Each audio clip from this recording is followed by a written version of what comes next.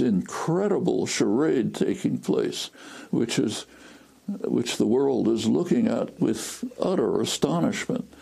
Poor, miserable people, uh, families, mothers, children, uh, fleeing from terror and repression for which we're responsible. And in reaction, uh, they're sending uh, thousands of troops to the border. Uh, the troops being sent to the border outnumber the children who are fleeing. And uh, with a remarkable PR campaign, they're uh, frightening much of the country into uh, believing that we're just on the verge of uh, an invasion by uh, um, you know, Middle Eastern terrorists uh, funded by George Soros, uh, so on and so forth.